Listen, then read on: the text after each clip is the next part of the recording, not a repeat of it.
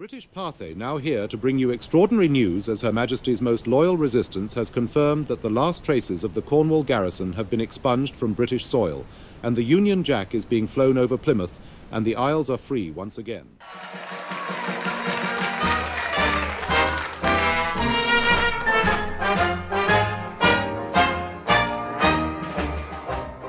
Britons always loyally declaim about the way we rule the waves.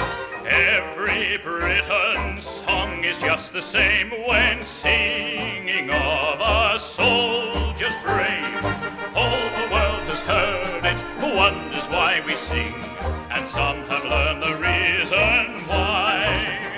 We're not forgetting it, we're not letting it fade away or gradually die.